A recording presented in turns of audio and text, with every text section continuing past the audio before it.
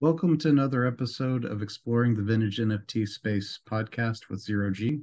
Today, I'm uh, I'm excited to have uh, Sebuh on the uh, on the podcast. Thanks for joining me today. Hey Zero G, thanks for having me. I'm really excited for this one.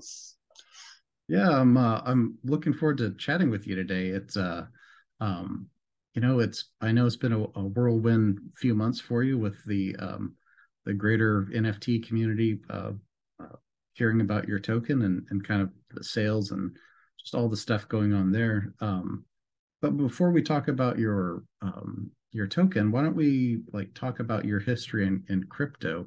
When did you first like hear about like crypto or Bitcoin, and what was what was the motivation? What finally got you to like jump in either buy your first coin or or like start mining? So um, the history of me getting into crypto was uh, basically when I was younger. I got uh, I went to vocational computer uh, skills training school, and I got really into computers when I was like 13 years old. I was already uh, certified for computer hardware repair, and by 16 I was Microsoft certified and Cisco certified, and then I started. I was collecting stamps when I was like in third grade, and then when I got a little older, and the in the 2008 collapse was coming, I started collecting silver coins. Oh, so yeah. I was I was doing something called coin roll hunting, which was basically I would go to the bank and buy a thousand dollars worth of half dollars. And then I'd rip open all the rolls of half dollars and I'd take the silver pieces out and go to another bank and dump the quarters back into the banking system. So I was kind of like mining silver coins, you know? And I was I was researching the price of the coins on this website called coinflation.com, which I, I linked to you. And that website had a post about Bitcoin and how it was going to be like a digital gold. And I went for it and I did some research on it and I was like, wow, this has everything I wanted because I was already looking into e bullion before, but that got like shut down. Yeah. And there was other like e gold and stuff like that that were out there, but they all got shut down. But Bitcoin wasn't able to get shut down. So it kept going. And I was like, hey, I got to get in on this. And the first thing I did was I started mining Bitcoin right away. And when I started mining, it was like in 2011. And I think the price was like $1 or less than a dollar when I started mining. And that's how it started. It was just like a history of collecting things uh, with intrinsic value, you know, like from mm-hmm. stamps to coins and then to Bitcoin. And uh, it was like a combination. I saw it as like everything that I liked wrapped in one. It had coins, it had computers, it had money, and it was all there in one nice little package. And I was like, I got to go for this, and I went for it. Well, that's awesome. Yeah, it um, um, it's cool you're able to kind of recognize that so early too. Um, yeah, I mean the, it, uh, it, it's really amazing too. The the other thing that um, you know that that 2008 uh, crisis really opened you know a lot of people's eyes myself included to the the, the potential economic impact of bitcoin too so um, you know i that's something that's that we're still you know over 10 years later we're still seeing the you know the effects of bitcoin as it's working its way through through the system yeah the, um it it was very very very infantile when i first saw it and it it drew me in because also it had the like a libertarian kind of mind state was required to understand it like yeah. you have to have the idea where about anarchy and i think i had read some like anarchist manifesto before and i had read this document called exit the matrix by ace evader that's after i watched the movie The Matrix, it really opened up my eyes about like how the government want to control stuff. But this document by Ace Evader called Network Forensics Evasion: How to Exit the Matrix by Ace Evader, it came out in 2006. And when I read that document in like 1999, 2001, it made me start thinking about how to be anonymous online, which was what you needed to do to exit the matrix, like not get tracked, why you're gonna why you want to subvert the trackers and things like that like why privacy is important. So that document made me appreciate privacy and when i saw bitcoin i was like wow this is making it very easy to achieve that privacy you need to exit the matrix and i and i thought like well privacy is going to be very important someday so i better start getting myself into this because then i can I could sell people privacy later as a, one of my IT services, you know? Oh yeah. Like mm-hmm. like I'll get a call from like a, an upset lady and she'll be like, my ex-boyfriend is stalking me online or something. Can you help me get him to stop stalking me? And I'm like, okay, we can do that. We have to make you more private. So I've had a couple of customers like that and it made me realize that privacy is going to be very valuable. Yeah, interesting. Yeah, you know, and that's one of the one of the I don't know if I'd call it a failure or an oversight, but I I think I know that was an intention to have Bitcoin be private, and um, you know I I still hope that eventually there'll be something that makes it, um, you know, a, much more fungible, you know, without having to rely on on mixers, you know. Yeah, the the it, sh- it should. Uh, what can you repeat that? I didn't quite catch. I was just saying, you know, I, I, to me, it's a shame that Bitcoin, in like at least in its current state, isn't really private without the use of like CoinJoin or mixers or something. So yeah, I, yeah, yeah, you're totally right because it's it's it's pseudo anonymity. It's yeah. not full anonymity. Um, but that's what the necessity to have a fully anonymous coin was what spurred people to go and create coins like Monero, Zcash, and Hush, and Mimble Wimble's Grin, and there's a lot of them now. There's a lot of options for fully anon coins. You know. Yeah, for sure. Um, yeah. So so you got in uh got in really early. So you um. So when when did you first like make the jump from like GPU or CPU mining to ASIC mining? Oh yeah, so um, from 2011 till 2013, mm-hmm. I was mining primarily with GPUs, mm-hmm. and then in 2013 there was a there was a couple Bitcoin ASIC manufacturing companies that were around, and I had made pre-orders with a bunch of them, and I had ordered USB miners, and I was talking directly to the manufacturers because I have the ability. I have, I'm a certified technical trainer. Also, that's one of the certifications I got when I was in computer school. So very easily able to teach people how to mine. Mm-hmm. So being able to teach people how to mine, then I could sell them the unit and then teach them how to mine, and then they're satisfied with their product and service. So when the ASIC miners started coming out onto the market, there was the Block Erupter ASIC miner that I, I purchased those for like $20 a piece in the summer of 2013.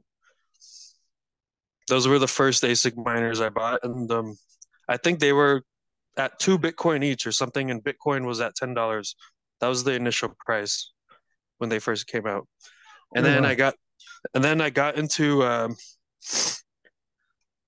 uh, other miners, like there was Butterfly Labs, there was yeah. oh, there's Hash Fast, which went bankrupt. Butterfly Labs went bankrupt. Cointerra was there; they went bankrupt. There was a uh, uh, uh, f- f- there's one Fried Cat. That was the guy making the block erupters. Hold on one second.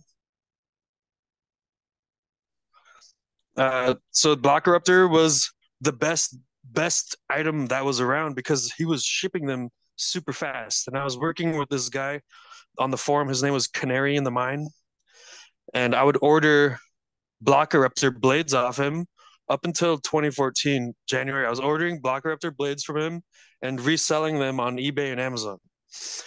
So I would pay the I would pay the manufacturer or the the distributor of the ASICs in Bitcoin, and then I would go sell them for dollars elsewhere, and then I would take those dollars and buy Bitcoin again and then I would go and buy more miners, and that was the cycle that kept repeating over and over again. Oh, cool. Yeah, that's that's quite the hustle too. Um, so there's a little bit of a premium on eBay for the gear at the time.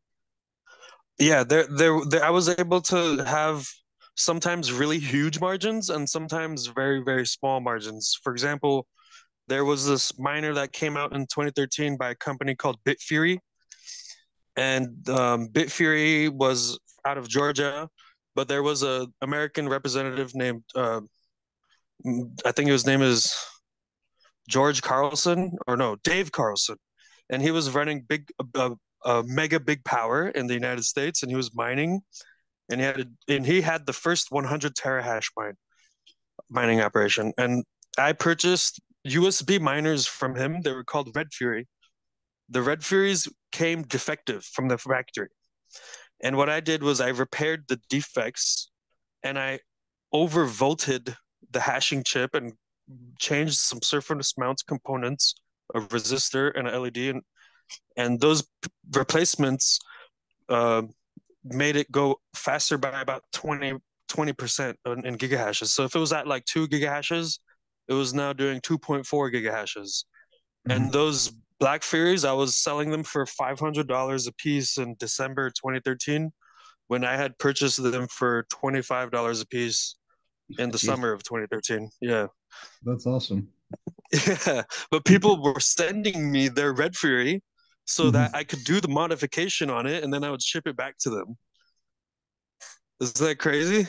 Yeah, that is crazy. Wow. I was like I was like modifying and redesigning miners back in 2013. That like that like that joy of doing that like pushed me into doing it even more and trying to really secure deals with these manufacturers so I could be like a top reseller.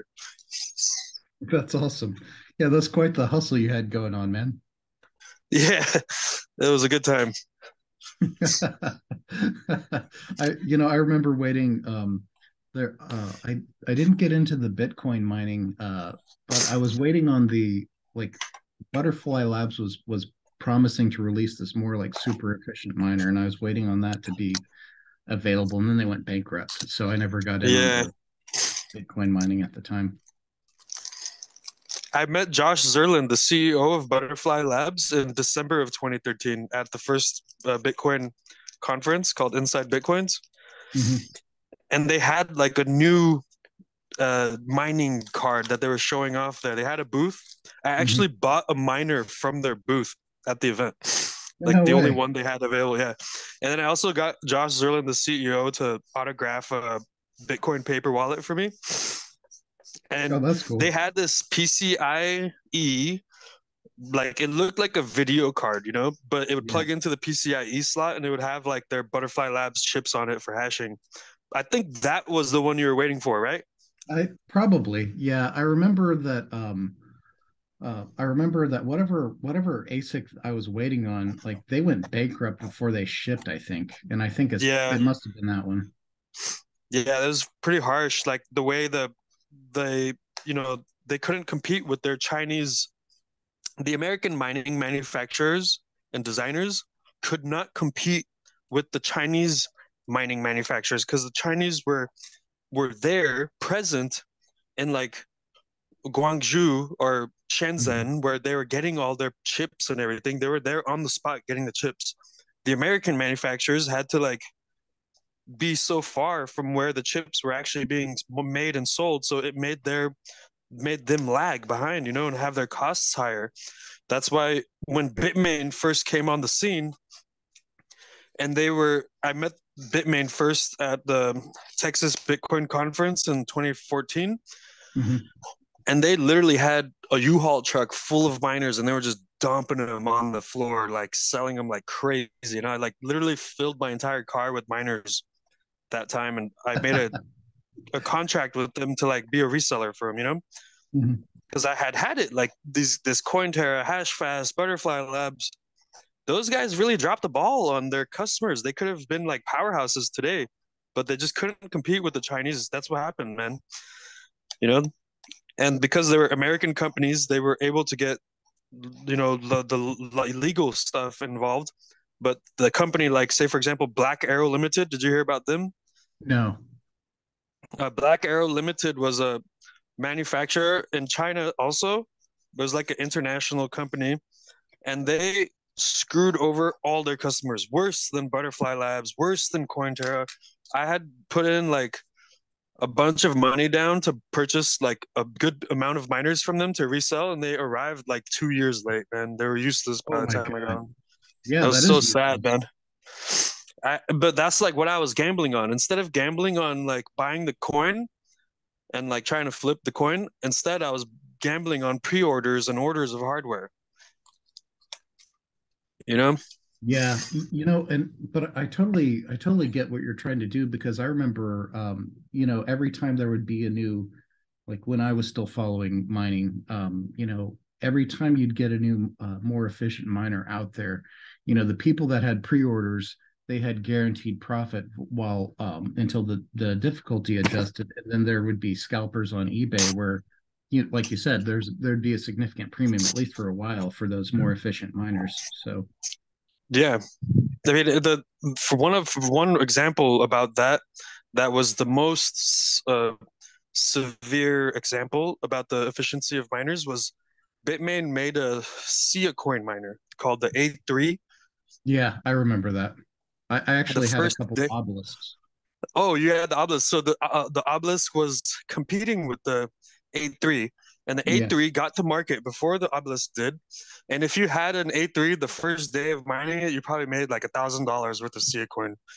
You know, like those those A3s were blasting Sia coin like crazy the first couple days. You know, and then obelisk and Sia uh, coin labs they like they like made all the A3s turn into bricks by changing yeah. their code, the yeah, hashing you know, algorithm. You know what they did was was really um, interesting. Know, well, I mean, I think that ultimately that's one reason why uh, why one of the reasons why their technology didn't get more adoption is I mean they basically played dirty pool with the um, in order to give their own miners an advantage. You know. Yeah, they they wanted to save their investors and the the people they kind of like centralized the hardware manufacturing while they were trying to be a decentralized company and yeah. they showed everybody their true colors when they centralized the mining operation into they only did. their manufactured miners so it's kind of like two-faced you know it they is. showed the public that they were two-faced and then they lost a lot of their reputation because of doing that yeah, I, I agree. I was I was really following them because I, I I really thought they had uh, you know most of the most of the infrastructure coins ended up being dumpster fires in terms of investments but i i remember i was really excited about the potential of decentralized storage to be used for a variety of applications. And like you said when when they did that it it pulled the rug on any um, on any credibility that they had with me you know um, and then after the fact they tried to say oh well we won't do that again and we're not actually going to make a miner or some some stuff like that but the damage was already done you know? You can't yeah. unring that unring that bell you know? And they uh, you know to your point too all those the guys that had those a3s they brick they essentially brick those and for what reason? Just because they didn't make them. Yeah they they just got very desperate and made a very very bad decision and they made an enemy out of bitmain too when they did that. Because bitmain started getting lawsuits from people that bought a3s that couldn't use them to mine anymore mm-hmm. can you, you you know what i mean like i know yeah. personally one of the guys that made a lawsuit against bitmain and that that's kind of messed up that they they did that but the, I, I was very deep into Siacoin in the 2017 bull run me too. So I yeah. saw everything like firsthand. I saw everything that was going down. You know what's funny is I don't know if you followed the news, but I think they just announced that the um isn't it like the the actual development arm like shut down uh, for Sia? Yeah, they did. Yeah, yeah. Like, I think it was a Seal Labs or something. Yeah. They they they basically had no more funding and the funding like the from the VCs that they were getting to keep going like dried up and they weren't getting any more new rounds. So I think what happened is they lost to the competition, which was Filecoin, you know? Yeah, I mean, so they lost to Filecoin, but the other one that I wasn't really aware of until recently that is actually getting use in the NFT scene is um, Arweave, you know? Um, Arweave? Yeah. Uh, I haven't really looked into that one. I'll check it out though. Yeah, so I mean, people are using it for decentralized storage of like for like the image to create an immutable link for their um, for the image for the for their NFT instead of hosting it on IPFS. You can use Arweave instead. Sweet, I'm gonna definitely check this one out. Yeah, for sure.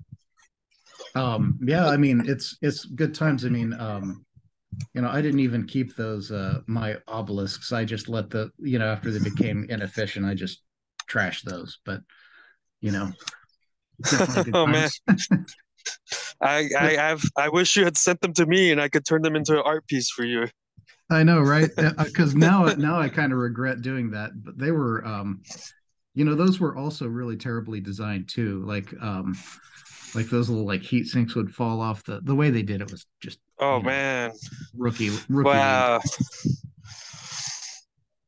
That's that's hilarious. So uh, there was another tidbit about me and Siacoin was I developed or I'd helped develop uh, and brought to market the first Siacoin miner, which was called Siaberry, and it was a basically a Raspberry Pi connected to an eight terabyte hard drive and a flash drive, and it would do the storage. Mm-hmm. It would work on the storage of the Siacoin files.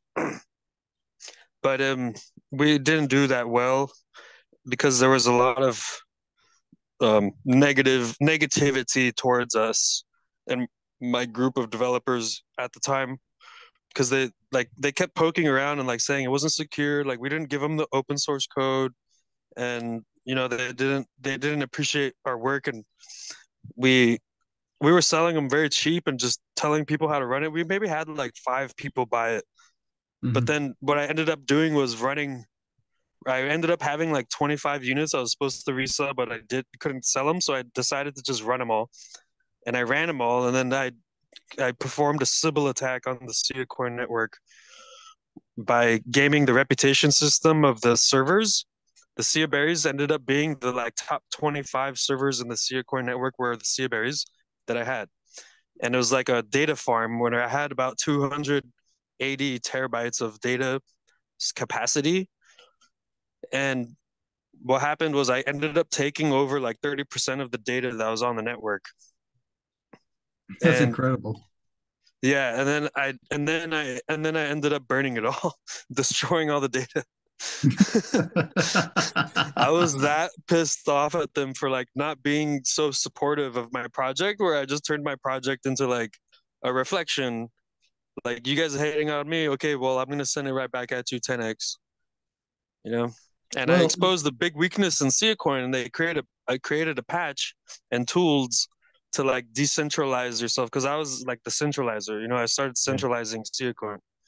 Mm-hmm. So they made an app called the decentralizer, and they everybody had to go and like redo their contracts because they had a three x redundancy on your data, right?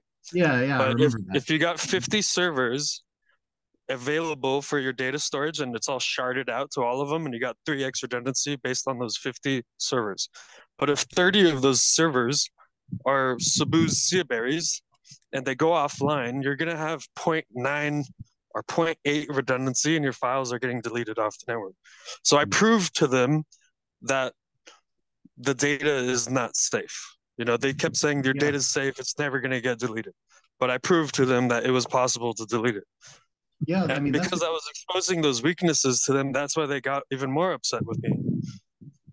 I mean, that's a great point because I, that, like to your point, that's one thing that I thought was cool is that they had, they had, you know, a method of, of quote unquote protecting the data. But like you said, you know, the three x three x copies doesn't work whenever the network itself is um is Sybil attacked, and you know, like the top, like you're saying, like the top twenty five or fifty hosts are all actually in reality controlled by the same person. Yep. That was a really fun time to be to be myself, you know, because I like to do stunts on the blockchain to get attention. Mm-hmm. That's like what keeps me going, like and drives me to keep uh trying to perform, you know. And I always want to make it big somehow and like try and be known as a person that like really heavily tests and stress tests the system and tries to break things and improve them. Some people appreciate my work very much, That's the, and some OG, people don't. the the OG definition of a hacker, you know? Yeah, pretty much. Well, cool. I mean, that's uh, you know, it's funny we both have the the you know the commonality with the, the coin. Um, you know, which I think that's pretty much gone gone to zero or, or pretty close to it. Um, I mean, it's irrelevant now in terms of usage. Last time I looked, um, but um, yeah, they're probably going to stop trading against Bitcoin and start trading against Dogecoin. I bet. yeah, it's uh, it's sad. I uh, again, they had like tremendous potential, but you know, it is what it is. Well, I mean, hey, that's a story for most of the alts back then too, right? You know, at least some of them had potential. But uh, you know, I know you're getting involved in some um into some art and some creative work. So why don't you tell me about your your background in in art and kind of like what you've been doing there? Oh, sure. Sure, yeah. So um when I was in college, I took a photography class because I really um wanted to get away from the computers a little bit for some time, but still have like electronics around me, but away from the computer. So I thought the camera would be a great way to get away from the computer and go outdoors and go meet people and interact with people, socialize with the camera in hand.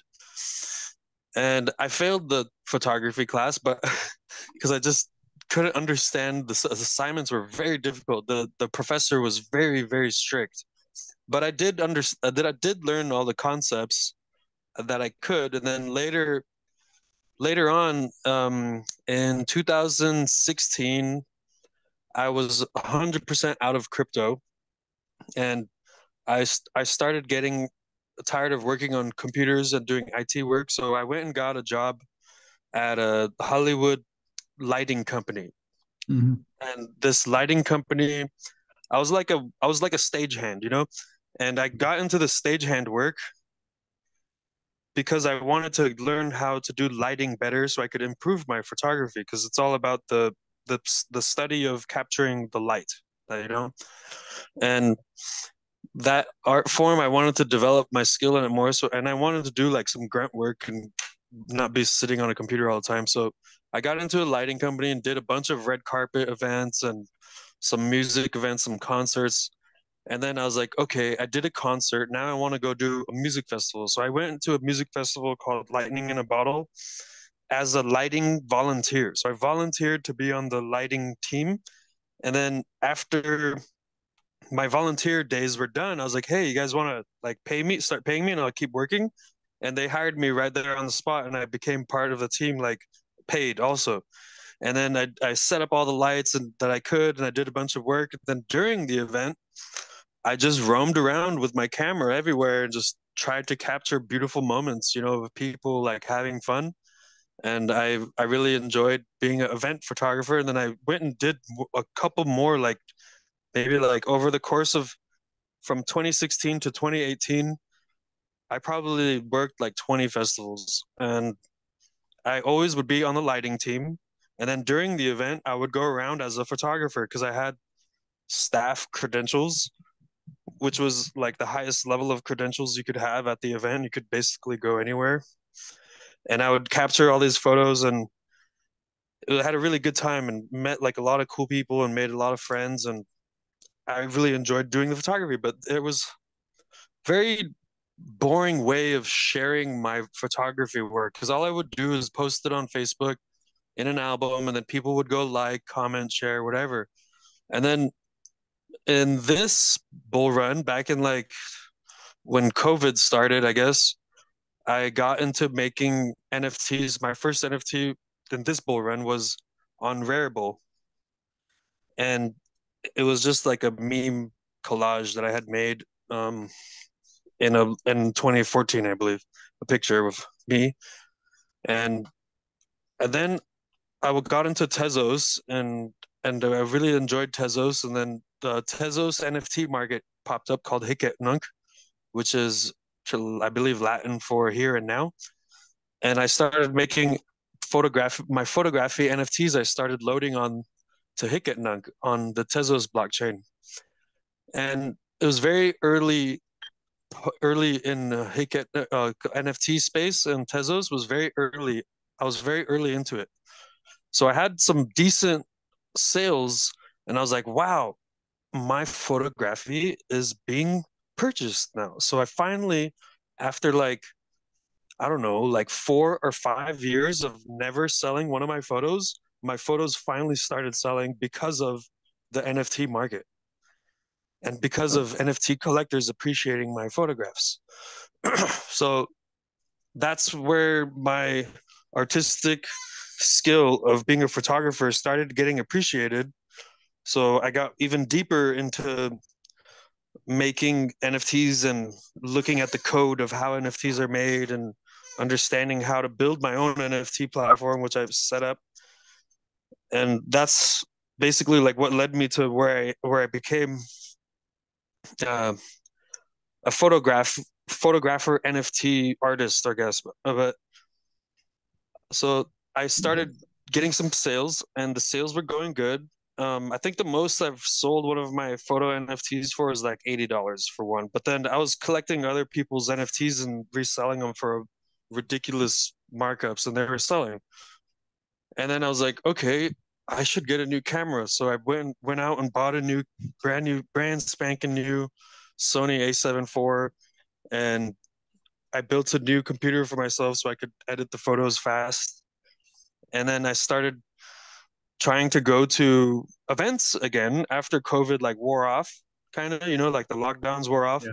And I started going to events again and started getting booked for events and getting paid to go to the event to shoot as a photographer and then at the same time taking those photos that I shot at the event and minting them as NFTs and selling them again.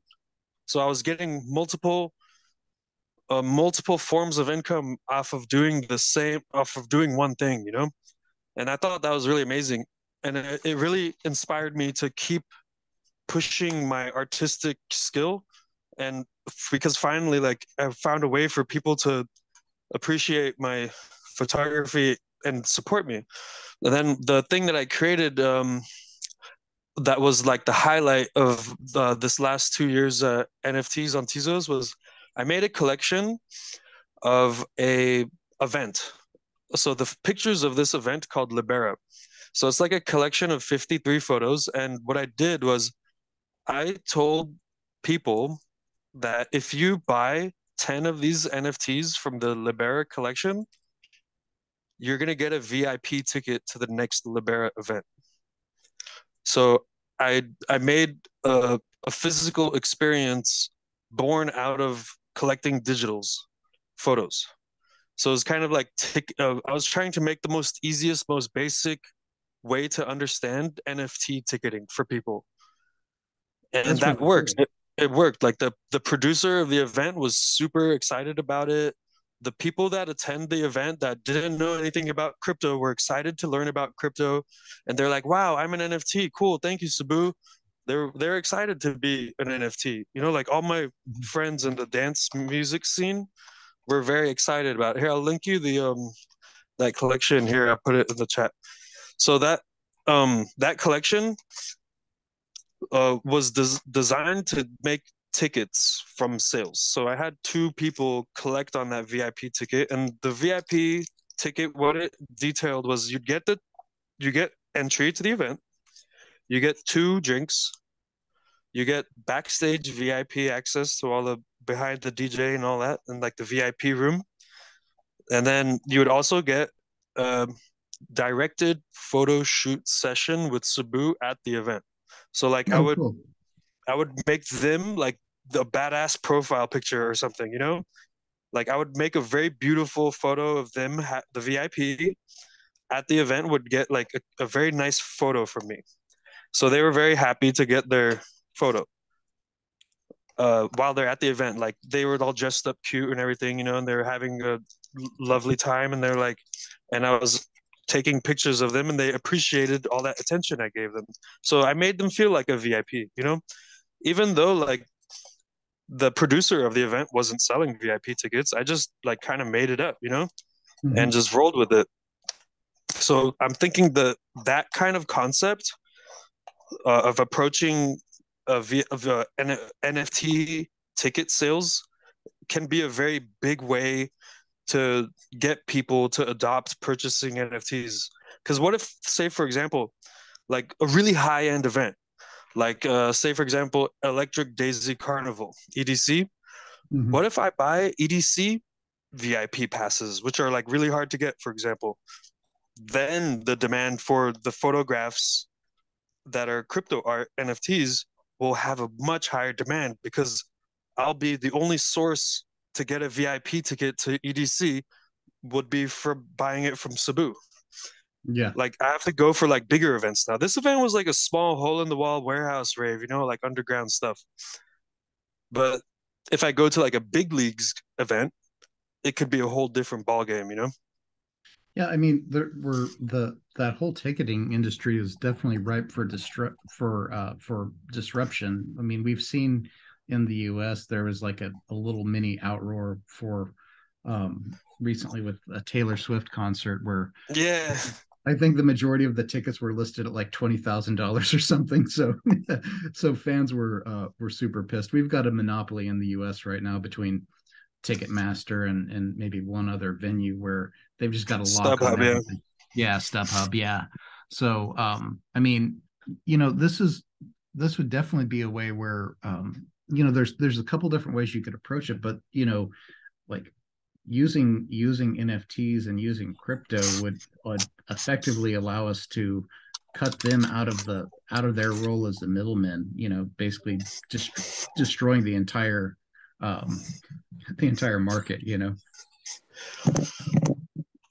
yeah the the the tickets being sold um re, being resold on StubHub I, I've, I've even done it myself I've even done it myself like for an event a couple weeks ago. Um, mm-hmm. I was mm-hmm. going to a Purple Disco Machine event in downtown LA, and I bought a VIP ticket for like two hundred fifty dollars. Mm-hmm. And I was like, man, I spent too much. I should just resell this ticket and get a general admission. So I resold the ticket. I made a profit of like forty dollars, and then I just went and bought a general admission ticket. It was super easy. PayPal money just went right in my account. There was no like fuss, you know. It was super easy to do. So StubHub is doing it right, man. You could just you could easily buy that twenty thousand dollar ticket and sell it for twenty five thousand, but your profit is only going to be like a thousand because StubHub is going to take a huge cut out of your resale. They take they took a huge cut for their service fee. It's like ridiculous. If another StubHub comes out as a new name, new brand, and has a less fee, they're gonna take out StubHub. You know, they're they they're ripe for competing with. Yeah, for sure. I mean, and the same thing on the on even on the the issuance side with Ticketmaster. You know, I've been to events where you can, um, you know, if it's not a super expensive event, you'll pay like twenty percent of the of the actual or more. Uh, there's some of the smaller ones is like a third of the cost is actually service fees or half the half is service fees for you know, like a small electronic event or something. I mean, it's ridiculous. So, I mean, we all and like of course you know like the the cost to actually you know host a website and um, to to service requests is nominal nowadays. So it's just pure. They're just pure scamming everyone. Yeah, pretty much. That's so. That's one of the that's noticing that was what prompted me kind of to go into attempting mm-hmm. like to experiment with NFT based ticket sales because yeah. I wanted to make it like um, the VIP mm-hmm. is gonna get paid to go to the event and have fun. That was my concept. Like, yeah, if if you could buy the photo NFT and then you get your VIP ticket, right? And mm-hmm. then after the event, you resell, you resell those ticket NFTs that you mm-hmm. bought and you make back more money, then yeah. essentially you got paid to go be an NFT uh, VIP guest at a party. So that would be groundbreaking concept, you know, where yeah. you're getting paid to party. Are you serious? Like this would be like an enjoyable life for anybody that's, you know, in the party scene a lot. And yeah. I thought that idea was really crazy, but it's possible. It's very possible. Yeah, you know, the other thing too that would be really interesting, Sebuh, is that uh, if, you know, like while while it's like still we're still in this weird messed up market, like see if there would be a um, a difference in value for even for the same event for basically a, an NFT token for the uh, for the event versus the traditional Ticketmaster slash whatever it is like uh, StubHub like way of selling. Like people may pay more for like uh, you know being able to access and trade it you know as a as a token instead of you know via their their traditional system. But yeah i mean i love your concept of being able to get get paid to to party. That's that's super wild. Yeah and, and you're right like what the if the nft ticketing can be done in a way where there's less friction for the mm-hmm. user and the seller, then the fee, the service fee the platform takes will be a lot less.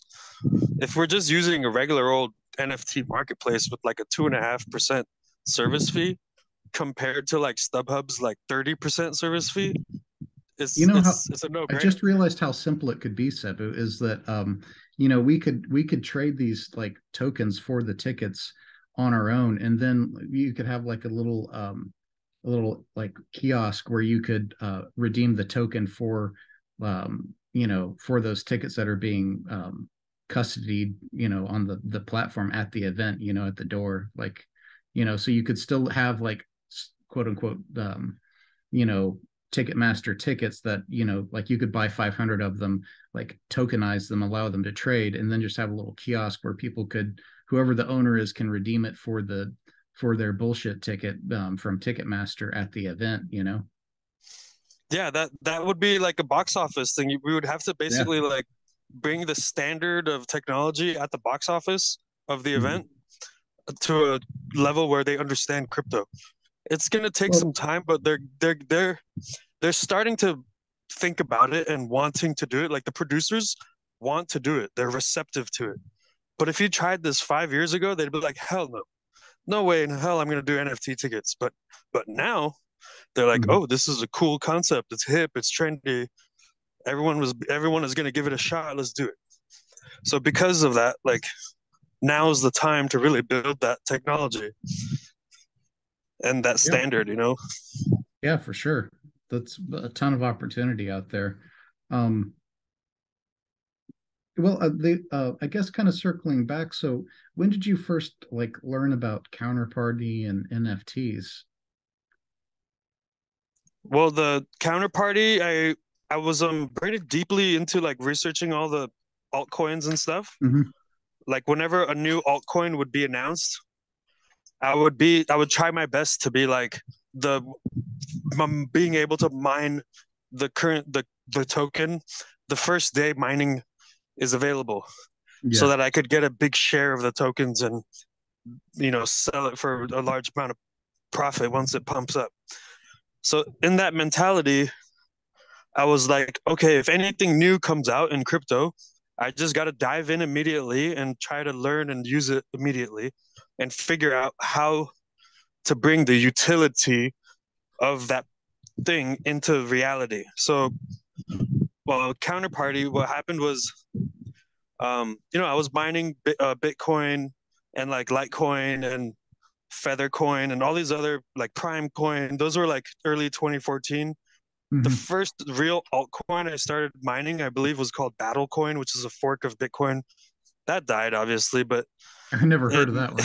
yeah, was, yeah, that was funny. Like it was like a it was like an omen, you know, like there's gonna be a war going on with all these alternate currencies, you know, they were ready to go to war because I, I look at it like a battleground. And then, so the counterparty was announced on Bitcoin Talk, and that's probably where I learned about it initially. And I went and looked into it, and I basically thought of how how what need do I have that this token can can fulfill.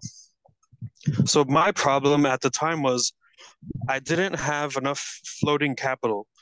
So what would happen is I would say, for example, I had $5,000. And in that one week, I get $5,000 worth of orders on the internet for miners.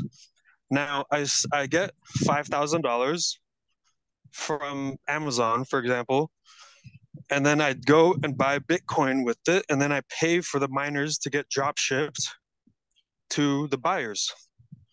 and and what would happen was I would run out of money all the time. Like I would just run out of money, run out of money, and then my volume would slow down. My volume's momentum of sales would slow down because I didn't have enough capital. So I said to myself, look, we could raise some floating capital by creating this token, charging a hundred dollars for the token. At the time, it was like 0.11 Bitcoin, I believe, was like a hundred dollars. And what we'll do is we'll sell hundred dollar miners in exchange for the token. So like the token was kind of like you're pre-ordering miners for me. That's kind of what the idea was. So the person would help me with having more floating capital because I had more Bitcoin now. I could go buy more miners because they bought this token off me and gave me more floating capital. And they're not claiming their miner right now. They're going to claim their miner later. So I get to work with the capital that they gave me until the time comes where they claim their their exchange for the miner with the Sebuh token. So the Sebuh token was designed f- to have me get more floating working capital in my hands so I could purchase more to sell more. That was the reason I created it. And and the other reason it was so I could get a pre-ordering kind of system like like the buy the buyer didn't want to buy a miner right now, but they want to have like priority given to them. Like, say, for example, a new miner is going to drop next month, but we're not opening sales for it. We're not going to do pre orders for that miner. But if you buy a Sebuh token, you will be put on the front of the list to exchange uh, a Sebuh token for the miner that comes out next month, for example. So it was kind of a pre ordering system, also, where the person had already given me their payment and we have avoided using the dollar. So I wanted to start avoiding using dollars in the trade business that I was doing. I wanted to use Bitcoin as much as I could. So selling the miner through a so they would sell the Sebuh token to them for Bitcoin, and I would get Bitcoin to be able to go buy their miner with Bitcoin, and I would avoid the dollar completely.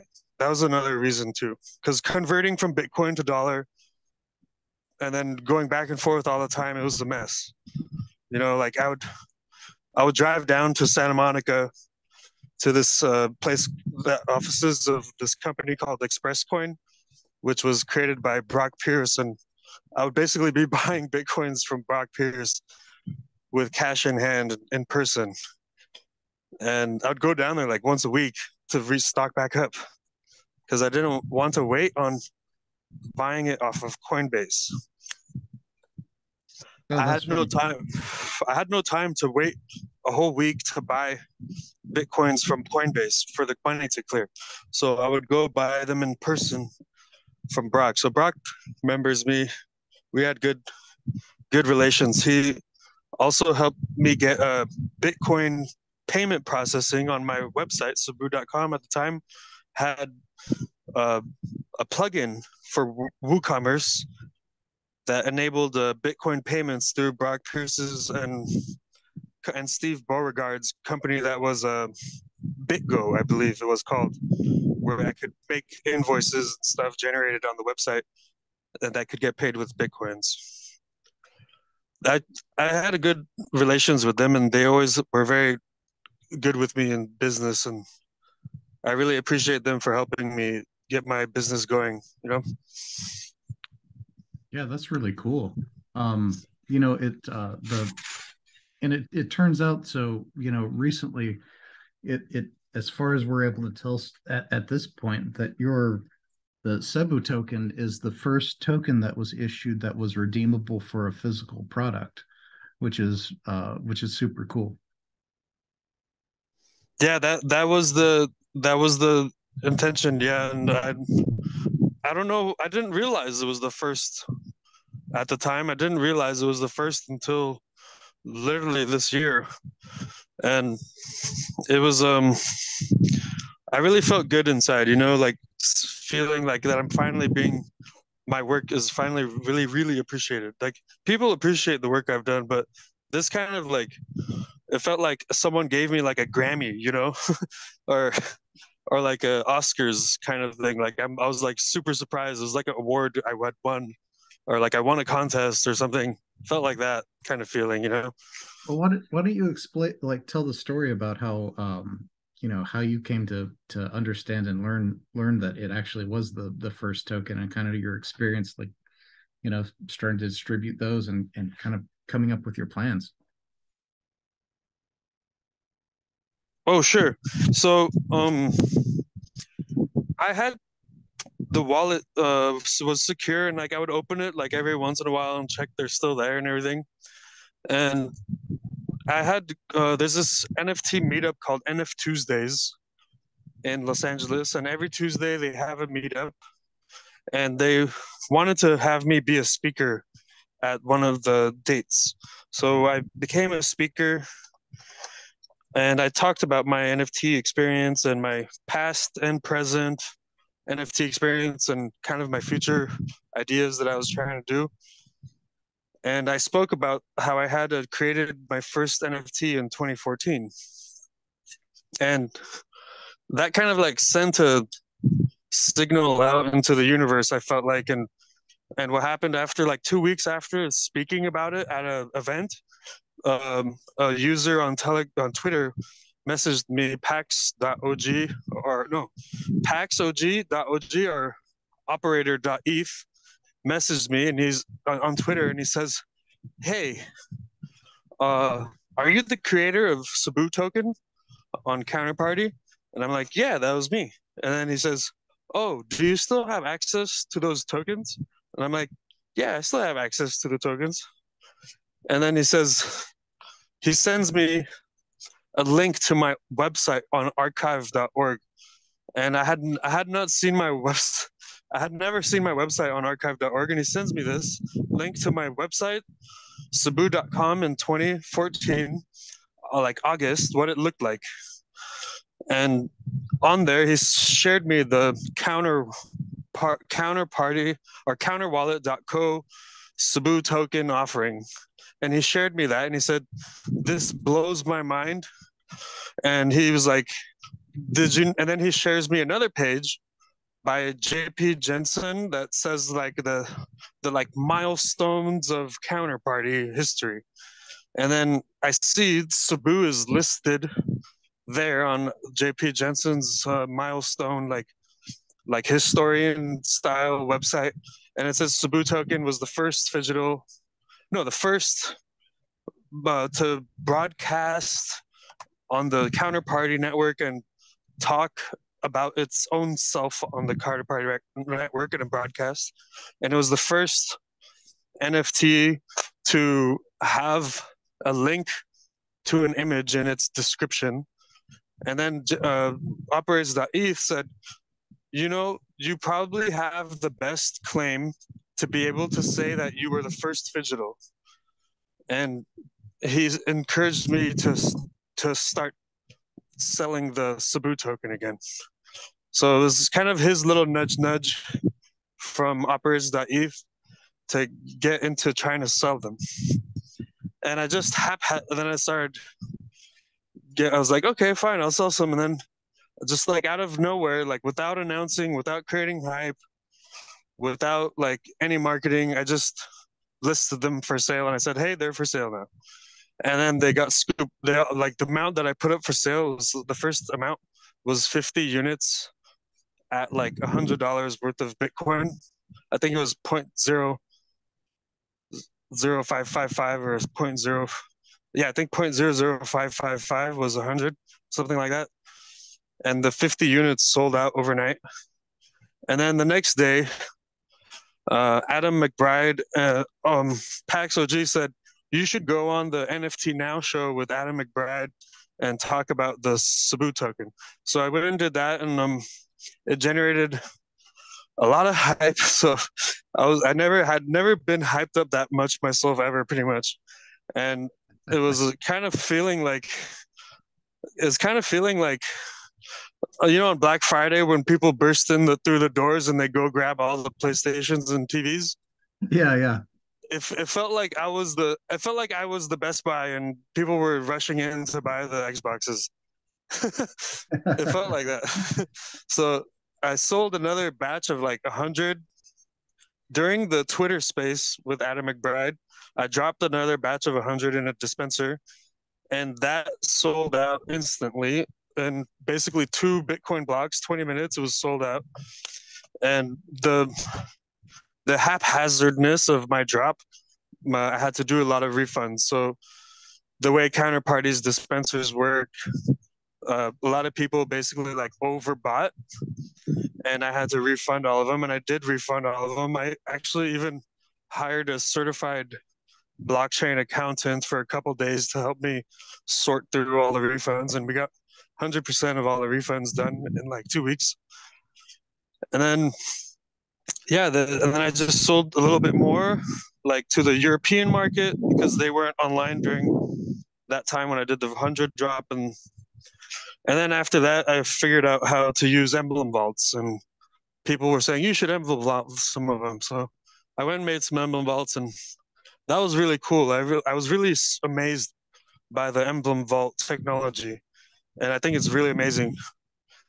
Um, so I made a couple listings of the token on OpenSea with Emblem Vault, and I think I sold like two or two or four of them like that so far, and it went pretty okay. And and then I was like, you know what? Let's see. Someone was trying to buy out all the tokens. There was a guy. He was like, "I will buy them all. You don't have to like bother with selling them and treating the market and everything. And I could just buy them all and I'll resell them for you. So like he was trying to buy like I don't know, like 750 or 780 Sebuh token, all that was left. And he offered like I think like 25 or 50 grand, something like that. But I didn't accept the offer. But then I decided to put an emblem vault up on OpenSea with 750 Sebuh tokens and the emblem vault says also that the purchaser of that emblem vault will get the private key of the that created the Sebuh token. And I set the price at 999 Ethereum. And it's just sitting there now. it's it's kind of a crazy number. Um, you know, I don't know. It's just it's just there. Like I'm I don't know if it's gonna sell. Maybe it'll sell, maybe it won't sell, but it's just there and I, I did that because i didn't want to feel like i was being rushed into selling it for too cheap you know i, I kind of yeah. feel like i rushed into selling them too cheap maybe or i kind of feel bad because some buyers got upset with me because i started selling them cheaper than the mint price and they got upset. And then you know people just got all these objections to like how I was doing things and it was kind of stressful. So I kind of felt like to get rid of the stress about the selling the token and marketing it and you know serving the public and doing everything I'm supposed to do that they would desire that's positive about it. It was very, very stressful. So I just put them all up all in one emblem vault and I'm like okay I don't have to think about it for a little while you know I could just take it easy for a little bit. Yeah, that's kind of how that went. yeah, you know, it. Uh, I I was able to snag a couple of the um, the tokens myself when you had the dispensers up, and then um, you know, I'm really fortunate enough. Uh, I was able to. Uh, I bought a spare one that I, I used to redeem with you, the using the original method of a, uh, sending it to you via um, counterparty to redeem for one of the uh, the miners, which is super cool. Yeah. Yeah. So that how many miners did you redeem back in the day with the token?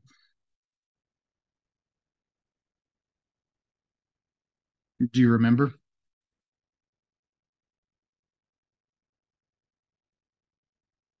Plan to relaunch a new uh, sh- like shopping cart style website like that was sebuh.com before and have a lot of different types of physical objects uh, available to trade for Sebuh token. So I want it to be a phygital token that like how it was originally planned out, but like with a slight change of the type of products available. You know, so like this art piece that I'm working on right now with electronic waste from mining operations is uh, I wanted to sell the physical art, crypto art, in exchange for Sebuh tokens. I still want to do the original project's idea. I don't want to change what the project is about. I want it to stay true to what its roots are, you know? Sure. Yeah, you cut out there for a second. Um, so I didn't I didn't hear you went uh like how many like miners were actually redeemed back in the day for the the token. Oh, back back in the day there was a pre-order by by one person uh named Dan he's on Twitter as Dan Beck. He was a, a friend of mine in the 2014 era, and he supported me by purchasing two. He was the first person to purchase them. He purchased two Sebuh tokens, but um, there was some unfortunate events that happened in August of 2014 that made the project get put on hold. Um, so in 2014, August I was scammed by a, a guy.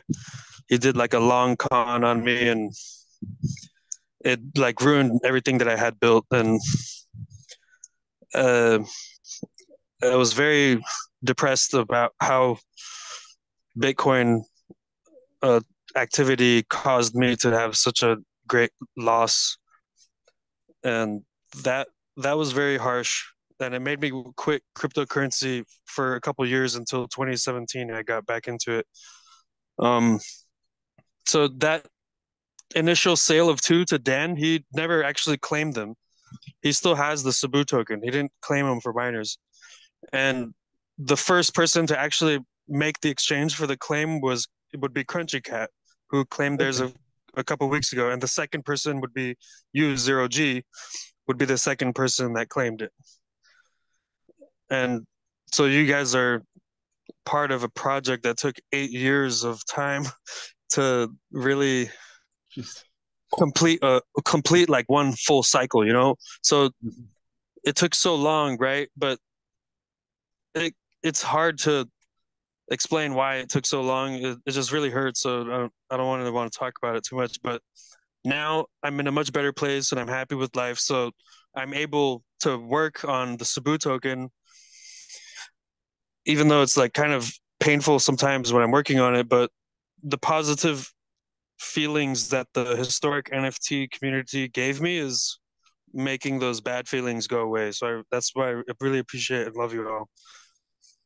Man, that's really awesome. I, you know, I, I have to say too, I've, um, I've taken some really massive L's in the past too. I, um, you know, I, I got scammed once before that really hurt too. So I, I know I know what you're talking about, but um, you know, like, like what I had to do to um is just is just remember that in crypto there's um like what's amazing about crypto is there's always another opportunity out there like um you know there's i mean and you're lucky that you like now you have like this amazing asset that you know like you said, you don't have a, you're not in a rush. You can kind of figure out what your game plan is going forward, but you have an amazing asset with your, that big stack of the Sebuh tokens that, you know, you have a, a ton of opportunities going forward. And, you know, there's other, other opportunities too. I mean, you know, like your, the ticket thing sounds really, um, that VIP ticket system sounds really cool too. I mean, there's, you know, I'm sure you'll, uh, I'm sure you'll, you'll do something super cool but uh, yeah, so well, really, um, I really thought it was uh, uh, amazing to be able to actually get one of those original. Think it was an R box miner um, for, by redeeming the token. So I thought it was cool also that you know you end up back with your uh, another one of your own tokens too out of the the deal too. Yeah, I I like to have it go back into circulation instead of having the token burned. Like I know other people that may have like a similar concept of phygital, mm-hmm. and I'm pretty sure majority of them are burning the token when the physical is claimed. Yeah. Um, I don't I don't really like the idea of burning tokens too much. Um, but sometimes it has a purpose, you know. But the Sebuh token, in in in my uh, heart and in my eyes, like is too valuable to burn. Yeah, I you know I um there's some projects that do the burning and and you know some artists will burn their own tokens for different purposes and and I um and even there's there's distribution methods for for like some projects with like um you know where they'll do sales where you can um you know whatever doesn't sell will get burned. And it always kind of makes me cringe a bit just because um you know while that that may help the sales in the like right now it it's limiting the the possibility for for more people to be able to buy it in the future you know yeah i i i, agree like it's it's it's like a double-edged sword you know? Like yeah. you at, at one time you're doing this one thing that's going to be helpful to you and then at the other time you're doing something that's going to be detrimental. Yeah it is it is really a like a dual-edged sword. You know the other thing is that um you know like right now especially like we're in a bear market while we're recording this in um 2022 you know there's there's so there's less demand right now but ultimately i see that you know we, even with just a thousand supply of the of your Sebuh token i mean there's going to be more than a thousand people in the future that would want to own that you know so to to burn that down to you know i don't know whatever it would end up being through all the you know like your through your your store or whatever. I mean, you know, to burn that down to a half that that's just less people that will be able to to own it in the future. Yeah, that's that's true. So the um, what kind of other questions? Maybe we could talk a little bit about um what I've been yeah. doing on Tezos.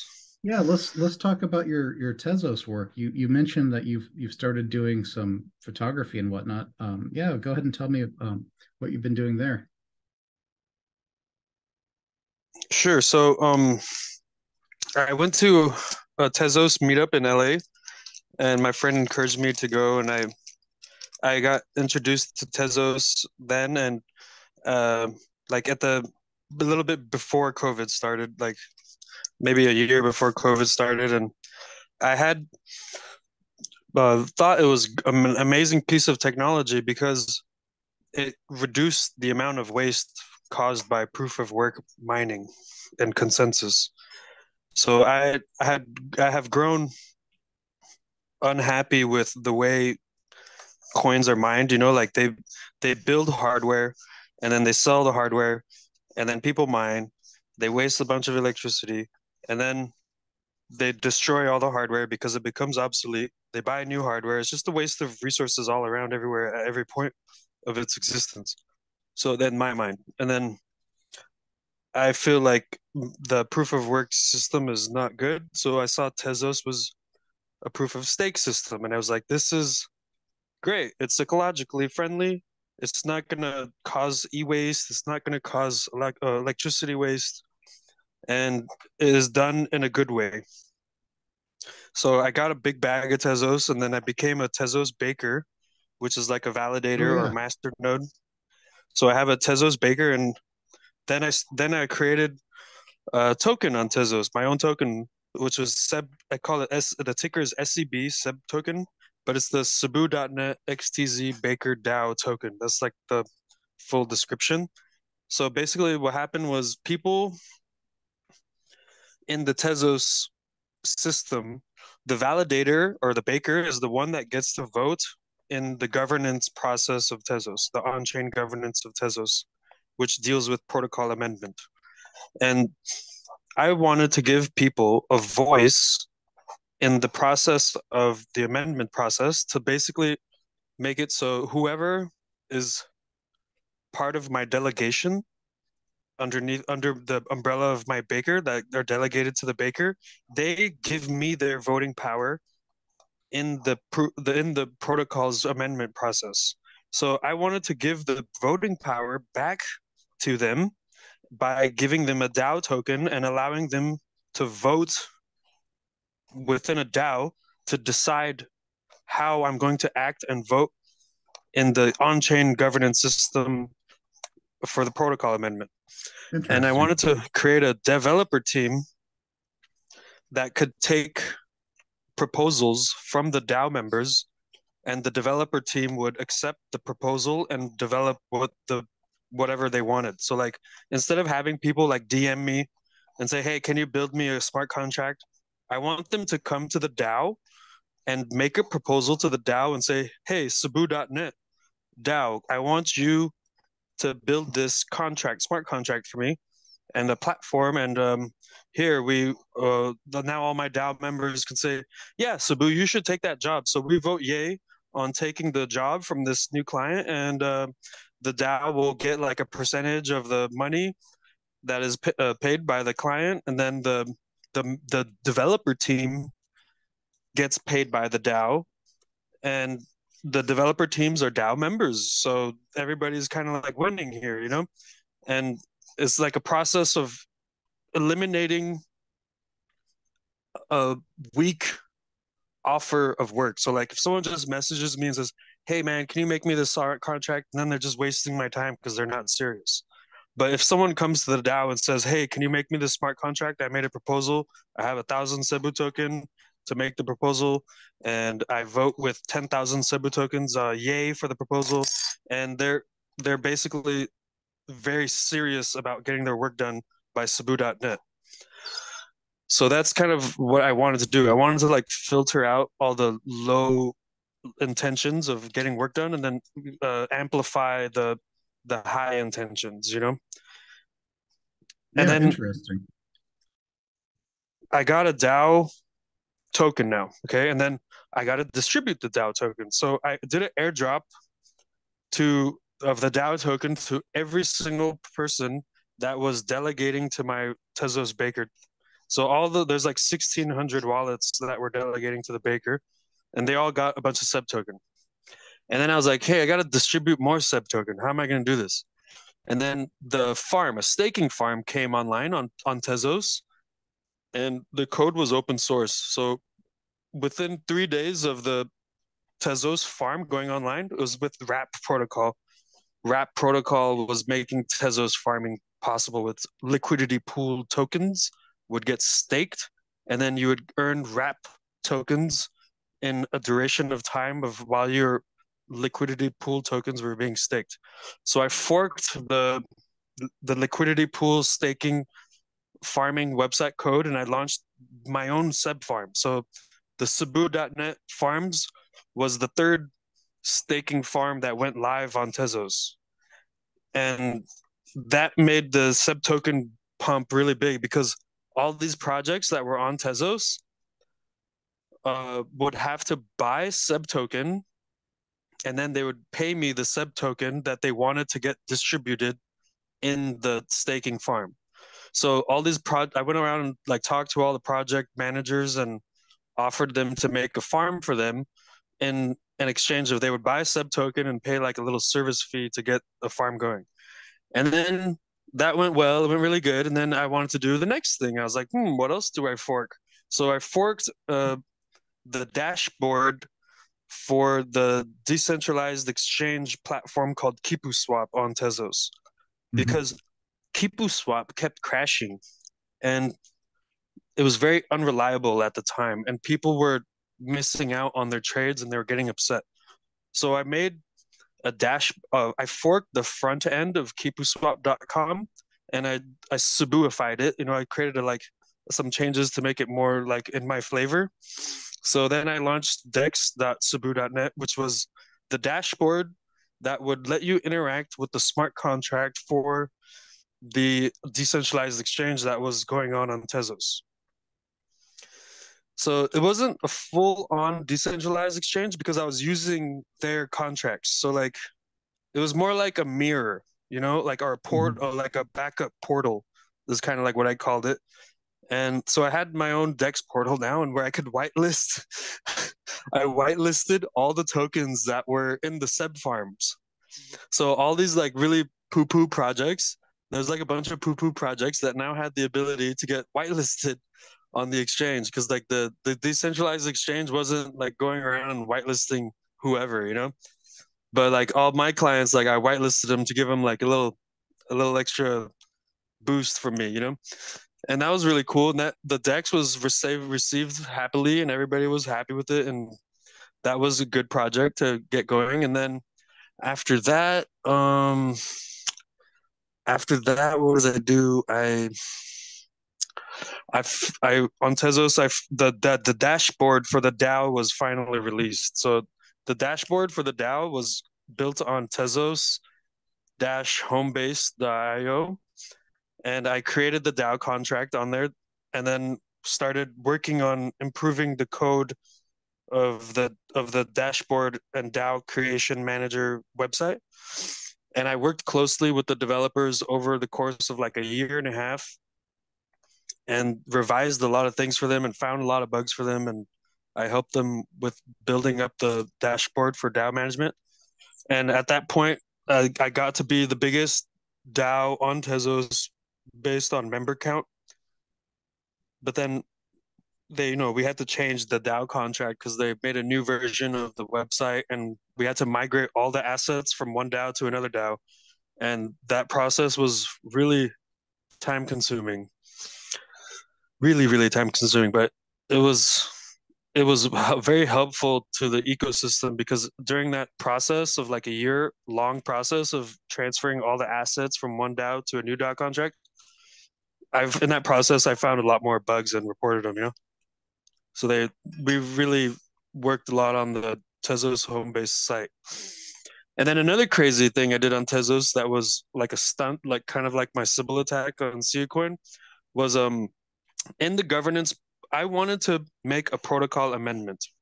So this whole governance system, the validator is the one, or no, the baker, the baker slash validator is the one that proposes the code change to the network. And then all the other bakers get to vote yes or no on trying out that code change.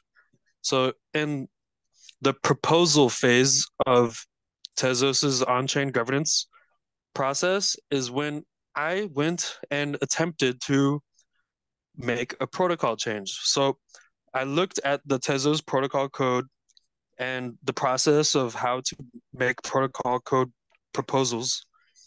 And it was very, very complicated for me. And the, the documentation was spread around all over the place. And it was very difficult for me to understand the documentation because a lot of it was outdated and like a little bit not like not super descriptive in a way for me to easily understand. So I got frustrated and I wasn't doing things right. So I was like, you know what? I'm just gonna I'm just gonna go crazy right now. I was going crazy because I was on a deadline and I had to submit my protocol amendment quickly. And this is this is another reason why I like Tezos so much, is because I have the ability to change the protocol code of Tezos. I don't have the ability to change the protocol code of Ethereum or Bitcoin. None of them. They're all like the core teams are like all very, very like strictly bought out or whatever they sold out. But Tezos is so decentralized. I, I believe it's more decentralized than Bitcoin and Ethereum because I have the ability to change its protocol code. I can't go around and change protocol code of anything else. Only Bitcoin. I mean, only Tezos because of the on-chain governance system is designed in the most decentralized way you could have it. And so what I did was instead of proposing actual code and changes to the network, I discovered that I could just inject a proposal that's empty and there's no code in the proposal. But what I did was the proposal that I injected into the network was just a vanity it's like it was a hundred percent vanity. Like you know how when you could put vanity into a, a crypto address, like yeah. say for example, you want your name to be uh the prefix, you know? Yeah. Like so I did that where the entire hash for the protocol hash was vanity. And the things that I wrote, I had 20 of them. I had 20 vanity addresses and I developed a way to just inject vanity messaging system. I called it like an emergency broadcast messaging system into the Tezos code. And uh-huh. people were going crazy, crazy. Hold on. I have to decline this call. Um, so people were very, very. Some people were extremely upset what I did because it's kind of like cryptocurrency vandalism on the blockchain. You yeah, you're you're repurposing that entire purpose of the um of that you know that process in order to just spam out you know vanity messages. Yeah. So that every every single person on the entire network had to look at my uh proposal injections and then the next day after everyone was just going crazy. They're like, "Oh my god, Sebuh was the first person outside the core developer team to inject the proposal, but he did it completely wrong and he just spammed us all. Oh my god, he's a spammer. Kick him out, kick him out, get rid of him, get rid of him. And then other people were like messaging me. They're like, "Oh my god, I'm so proud of you. You you like you did a groundbreaking thing by being like breaking the ice you know like i broke the ice of developing tezos protocol code because after i showed everybody that you don't have to be a core developer to change the code anybody could change the code and then i got other people motivated to make their own developer teams outside of the core team to work on the code so i inspired several other teams to start making code and i feel like i inspired a bunch of people in a good way but then people some people looked at my injections as like self-serving advertisement spam you know like mm-hmm. in the last uh proposal phase that was between october 8th and october 22nd of this year i injected a code that says here i'll paste it in here into the chat we have it says it says PT. PT is the prefix, and it says Sebuh for sale at the open sea by Sebuh Best HNFT GGG. That's the, and then it says BLA7S because the last four is like a checksum, so you mm-hmm. can't use the last four in the hash. So I developed um I developed a tool.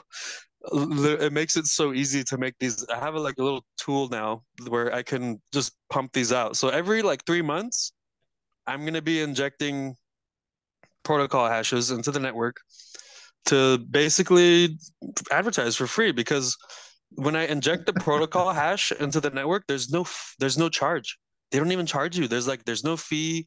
There's no well, money you got to put down. Like yeah, it's the probably, it's a free transaction onto the network. Everyone has to see it. It's crazy. Yeah, there's probably no way or no system in place to prevent people from from um, submitting these proposals because, of course, it's supposed to be decentralized and allow participation from anyone. So yeah, that's uh you know that's very clever. Yeah, the, it was very fun. So that they they tr- there's a couple users that were um you know high up there like that were upset and they were like, you know, we got to make a, a protocol amendment change where if you inject a proposal, you have to pay 100 Tezos. And if your proposal gets rejected, your 100 Tezos is burned. So basically, they're trying to develop code to get me to stop exploiting the system, but nobody, no serious developers are really looking into it because if they do that, they're going to hurt the decentralization. Now, Sebuh is shooting himself in the foot when he does this. So let him just shoot himself in the foot, whatever. You know, like they, it's not bothering anybody too much. It's just making Sebuh look like a kook or whatever but and then it gets people like um thinking you know? Like i really got i even got hired to be on a protocol code amendment team. So like months after the first time i did it which was like a while ago the uh, team hired me to be actually working legitimately on testing their protocol amendment and they paid me to be on a real team. So like this little stunt got the attention of like a real job, you know? So that's yeah. kind of like how my life in crypto has been. I will go and I'll be poor and broke and desperate and I'll go do some crazy stunt. And then someone will be like fascinated by the stunt and they'll be like, Sebuh, here's a real job for you to do. We see you're talented. Now just put it to good use, you know? That's really That's kind of like my life. Yeah, you know, um, I guess the other benefit, I, I guess I could say too, is you're you're bringing more attention to to basically the you know the protocol development of the network too you know yeah that was the main intention of the logic behind doing it was to the best part about tezos is the on-chain governance mm-hmm. people don't understand like how it really actually works because it's it's just like not really celebrated that much. And what i wanted to do is i wanted to get people more excited about the on-chain governance because it is literally in my opinion the best part of tezos and if people could see like the protocol amendment system being more competitive instead of always just vote yes for the core dev team vote yes for the core dev team everybody vote yes for the core dev team it's boring now if you have multiple teams working different angles on improving the core protocols code the competition will inspire the developers to make even better proposals. Yeah. So in the long run, it's going to be very beneficial to inspire more teams. Like if there's multiple teams siloed all around the world, not just like in France or whatever, because the main core dev team is in France. Mm-hmm. But if we had like a core dev, like if we had a protocol development team now is in LA too. So we got a good team in LA now and we got a good team in France. You know, who's next? Like we're trying to get Africa rolling too. There's a lot of Tezos Africa projects that I help um, help with. Like uh, in Africa, there's this project called Kuaka, and what it is is basically they're helping African crypto users launched Tezos bakers, and I personally have helped uh, like four or five bakers get online in Africa.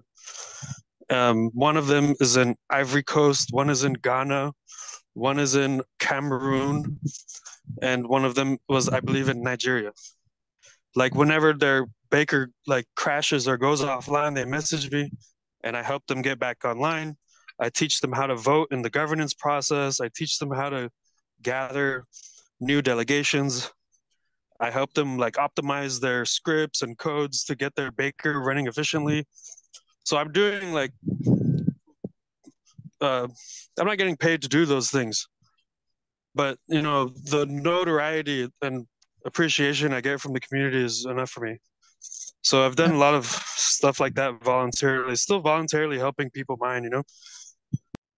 I mean that you're you're right though about the the on-chain governance that it is huge. I mean that's one of the one of the things that's a little bit worrying for me about Bitcoin is that essentially, you know, we have the the they have that BIP process, but essentially the the core dev team has unilateral decision to basically yay or nay that. You know, there's no there's no way to circumvent them. You know what I mean?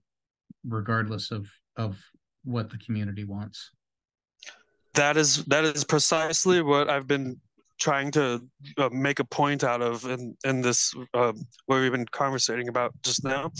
Mm-hmm. That that concept, like remember in 2017, I think it was, yeah. where like there was that whole New York agreement thing and mm-hmm. Bitcoin Cash fork and Bitcoin SV fork and all these other Bitcoin forks, and there was this huge debates and you know like it was it was not pretty. It was not a pretty thing.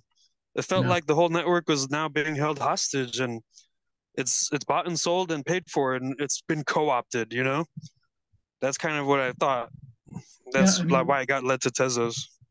I mean, I, I I see both sides of, of the the arguments on the um um on what happened with 2017. I, I ultimately what's ironic though is that you know they turned it into such a the way that it was handled was so scorched earth and polarized that i think it really did hurt hurt the network in the sense that you know like people are pushing for for lightning as a scaling solution which you know uh, which is cool and all but you know one is it's extremely late um, but two is that in order for for lightning to work it needs larger blocks too. I, I read the first like page or two of like the lightning white paper and now um, i think in order for it to scale globally you know as as bitcoin's original vision it would it was either like eight or 16 meg blocks. But my like my worry is that you know that that process was so contentious and so um so crazy that um that people have been become so like polarized against even considering increasing the block size even to to incorporate that because that's tantamount to to admitting that you know that they like maybe maybe not even wrong but that they needed to be more flexible where they took a you know a extremely hardline position back then. Yeah that, that's that's a very I, I agree with that. They it, it was very uh, they called it contentious fork you know? Mm-hmm. and they tried to spin it as like kind of like it was a good thing but and as you said like it, it, it impacted um the entire ecosystem negatively and in in my eyes like and if it happens again and again and again they're like setting a precedent you know? Like if you don't like something fork it and go build it over there you know? Like the the big one that just had its own terrible fork was the luna classic versus luna you know mm-hmm. like they're just trying to try and or ethereum and ethereum classic and then you know what is going to happen if like ethereum 2.0 with the staking feature like what if people's coins never get unlocked for example what yeah. they, is there's going to be another group of people that come and force their own fork into ethereum where it somehow unlocks everybody's coins because you know the core dev team is incapable of finishing the project in a reasonable amount of time. You know like that can happen and that will devalue ethereum immensely if that happens. And yeah i mean the, like, yeah i just heard too what you're talking about recently where now the the ethereum devs don't have a hard deadline for uh, allowing withdrawals from staking. That is um that is very frightening you know um i don't i mean the other the other big my other big worry like ethereum has like they're at least have on their new roadmap um you know they're they're going to be working on implementing post quantum secure cryptography. And one of my worries is that bitcoin has become so ossified that they're not there's no bips in the pipeline right now to implement um, post quantum cryptography for the signature scheme.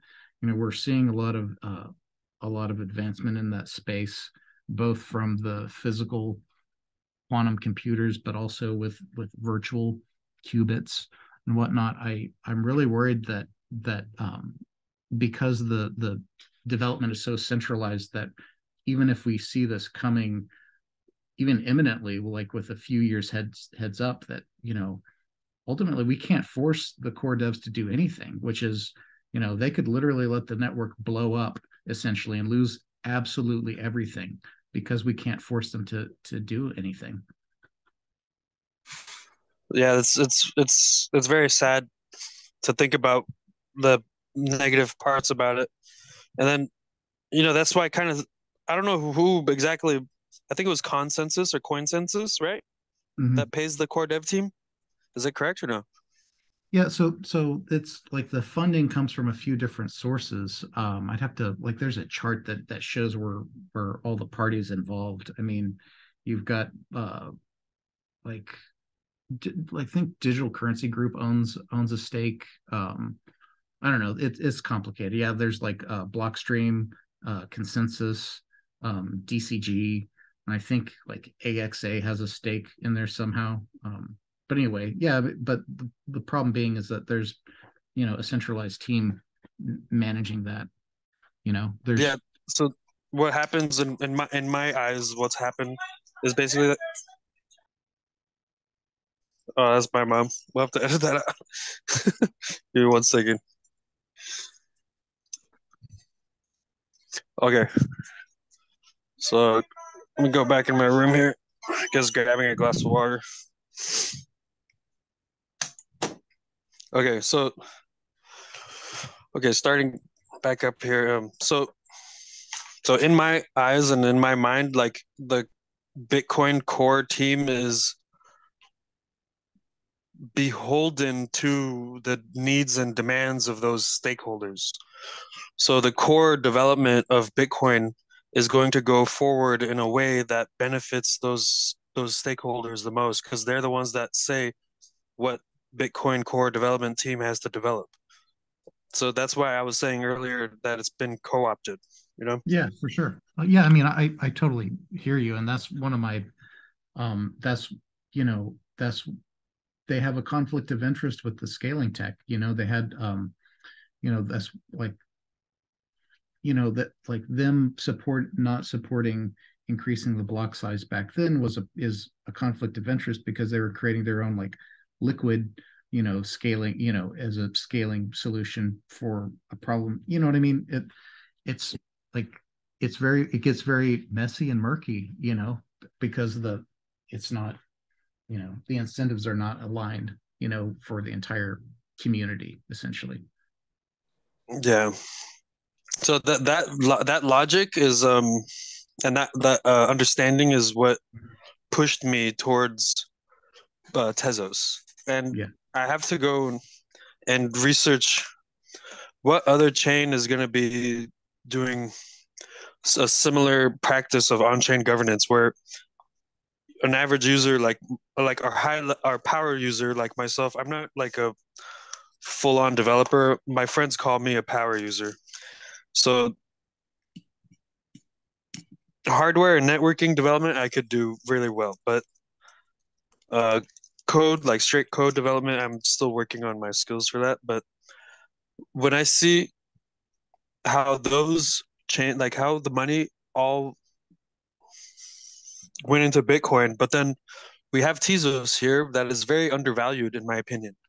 And I actively work on Tezos because I believe the on-chain governance that process that they have is going to be the winner in the long run as as we were as you were talking about the quantum computing being a prob they're going to be a problem for uh, cryptocurrencies yeah. encryption being cracked what is what is uh, going to be the roadblock for bitcoin to be able to defend against that what if it is, is not soon enough and what if it is there's a contention between the improvement like and and the in tezos i'll be able to bring it up. You know, I will be yeah. able to just make a proposal that says, "Hey guys, we should uh start working on this now." You know, like and then people that understand the proposal is about starting to work on it instead of just being the actual work itself, they might get in, encouraged and excited to start working on defending against quantum encryption cracking, as you mentioned.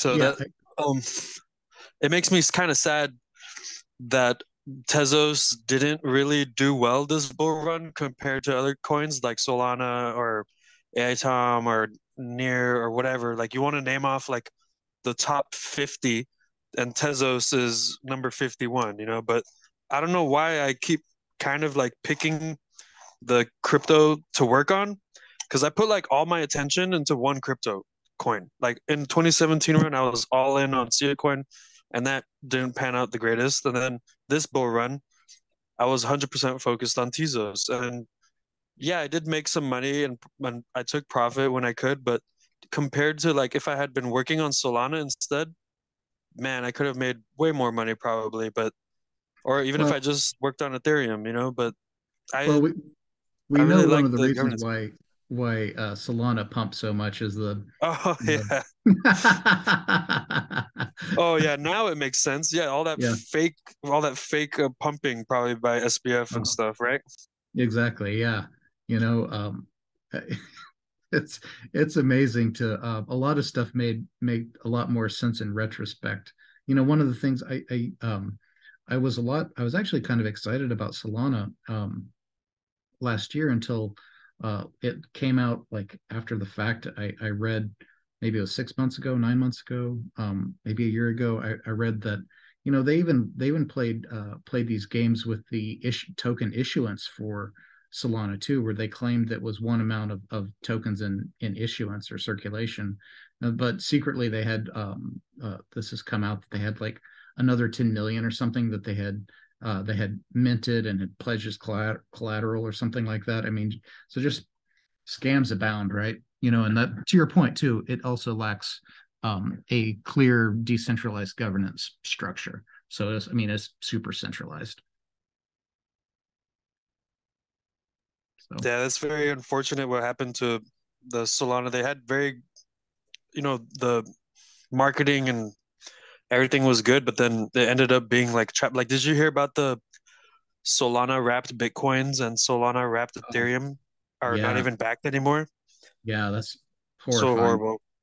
Yeah. That's so so scary. Like all these wrapped coins have the potential to be like that, and it's it's very frightening. You know. Yeah, I guess the. I mean, since we're kind of on the topic, the the to me the elephant in the room is Tether. You know, I mean, I think most people have known that it's a scam for years. Um, I just don't know. Like, I'm really surprised that after Luna was taken down, that uh, either a bank or a hedge fund or a consortium of hedge funds didn't decide to just uh, go after Tether and take it down too.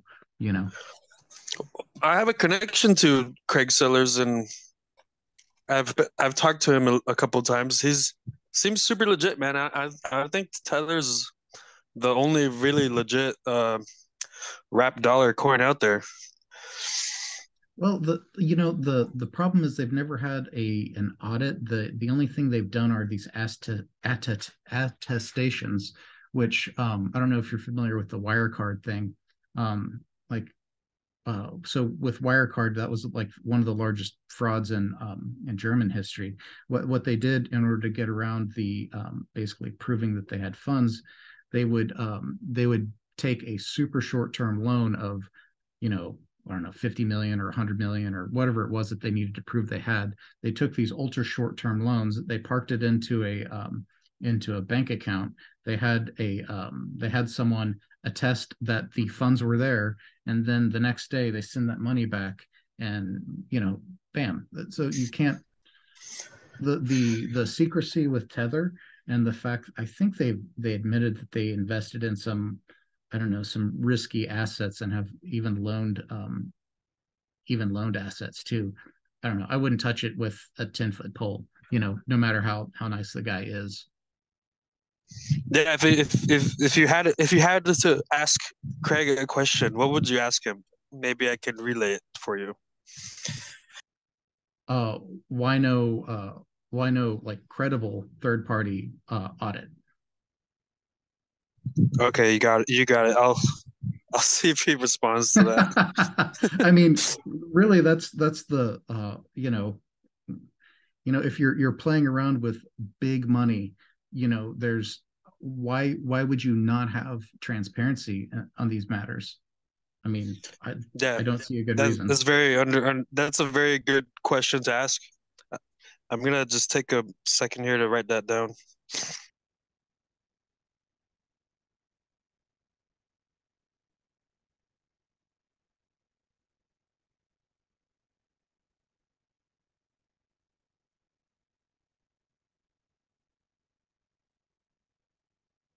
So you said why is there no uh, fully accredited uh, third party um, audit? Third party audit, right? Yeah. yeah is that how exactly. right? Mm-hmm.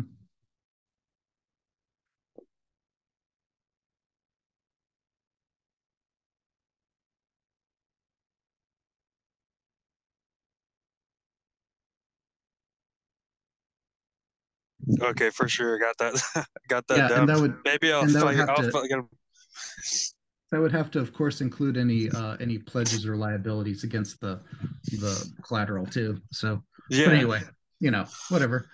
Um, it is important thing to ask. Yeah. So on Tezos, there's a lot of uh, wrapped tokens also.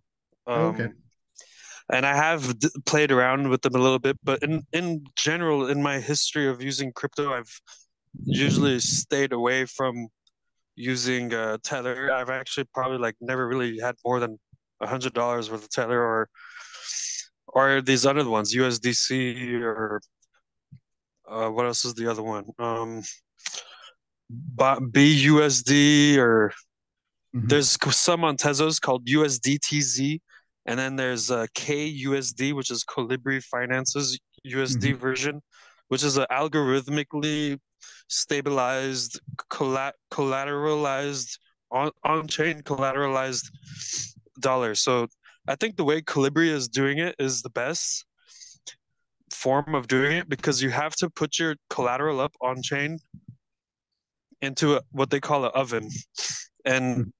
it sits there and you in in return you could take out KUSD as a as a loan on your own collateral.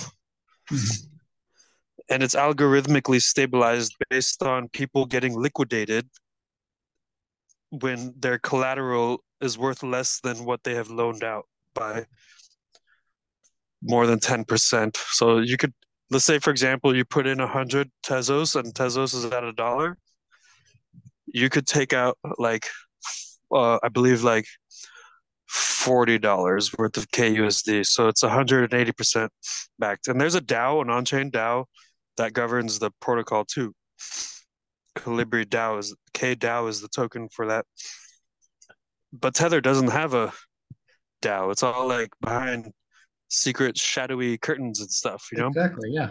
That that's that's the the whole point versus, you know, um these open protocols. So again, I I I have strong strong suspicions that there um, there's it's not well. I think they even admitted a while ago that they're not fully backed, but they used to um, they used to claim that they were. So again, there's these again it's it's not clear it's not transparent and uh, you know i've only used tether within an exchange in order to you know you had some of those exchanges where they only have a pair that that um, that trades with tether so yeah, I wouldn't hold any for long term.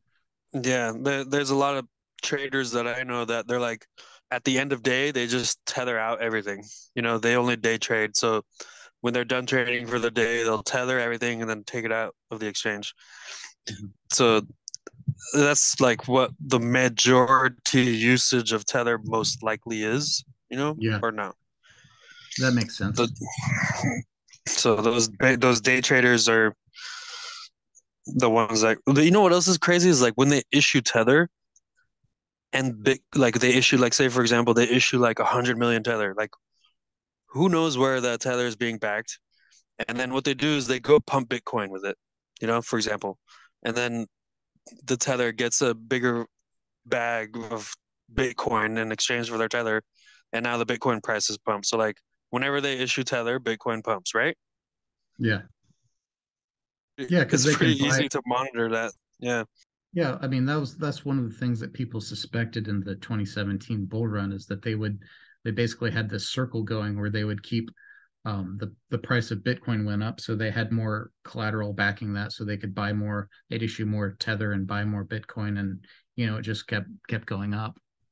Yeah, uh, that's uh, is that what that is pretty dangerous if that's actually what's going on. That's, a, that's a suspicion. It's it's not been yeah. confirmed, but yes, um, of course. But, but it it looks, you know, I've seen some people do some analysis, and it it it certainly looks like a a pretty um, a pretty decent uh, likelihood of what was going on. So, you know, again, we we don't know what, what's going on because there's zero transparency. It's again like these other open protocols. They're they don't really like the way they make money and the like the ma- management of assets is all on protocol you know? So. Anyway. Yeah let's go on to some of this. Yeah. What else did you yeah. want to talk about? Well so we've talked about your dao and your work with tezos. Um you know and and we've touched on your background in crypto and in art and um and the um and your token. So is there any um, and we've also talked about kind of like your thoughts in, in in the current crypto space with you know on-chain governance and um, and whatnot. Is there like is there anything you want to talk about going forward in the in the space or is there anything else that you're excited about?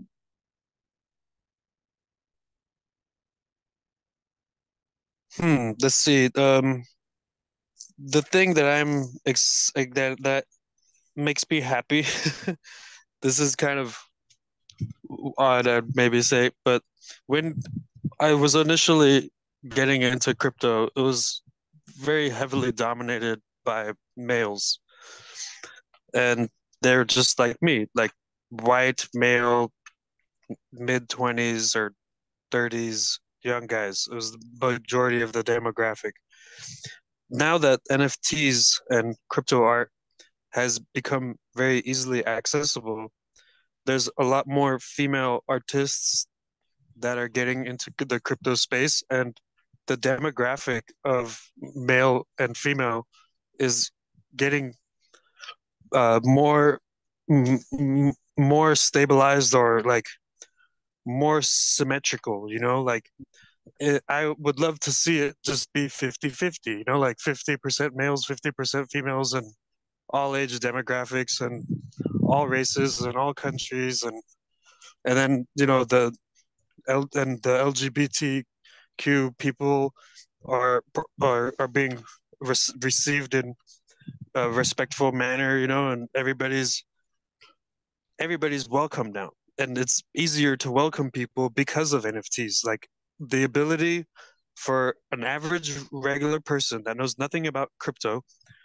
the their ability to get onboarded into crypto through nfts and increasing the adoption rate of crypto through nfts is the most amazing thing that is going on also. Like i'm very happy to see like wow i might be able to find a girlfriend that's actually into crypto you know? That'd be like a dream come true uh, instead of having like a girlfriend that like hates it and hates me talking about it and like that would be that'd be really a poor relationship for me. Like now that there's more fish in the sea and you know everybody is being nice and friendly with each other and sharing their art with each other i feel it's more uh pleasant to be able to see communities being not just dominated by males but with women being supported and promoted. So I, when i see like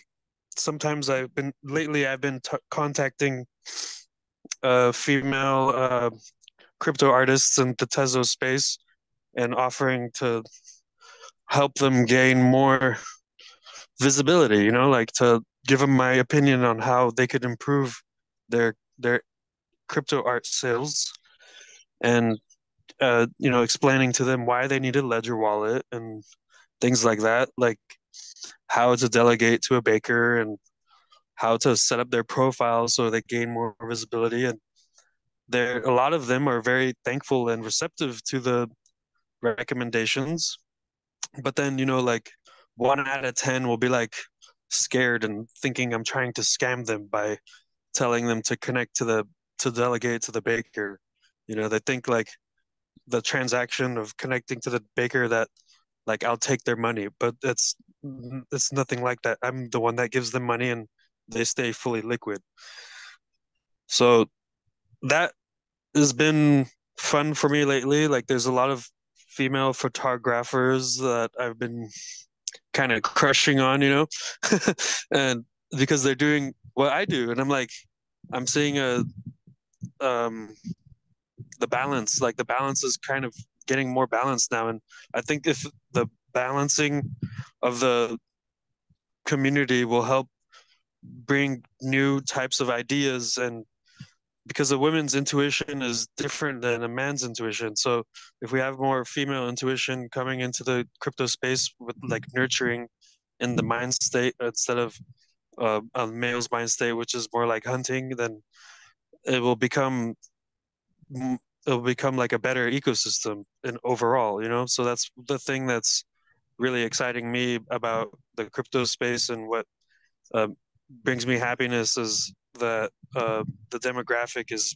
getting normalized.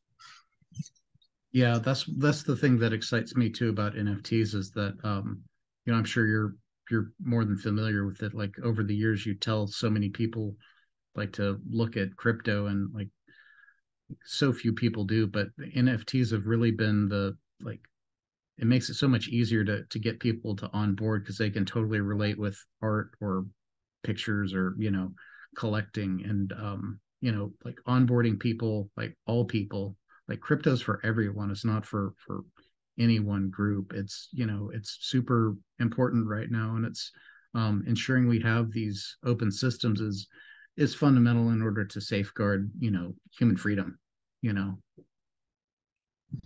Yeah, that and that's that's um that's like the the thing that really makes me happy like that um you know I, I could I could be at a party, you know, like at a dance party, like and I could just walk up to a girl and she'll be like, "Hey, what do you do?" I'm like, "Oh, I'm into crypto and NFTs." And she'll her eyes will just light up and she'll be like, "Oh my god, you got to tell me how to get into that. I want to make NFTs too cuz there's so many people that are artists out there and they find it hard maybe to be able to monetize their work because of all the roadblocks and gatekeepers and so on.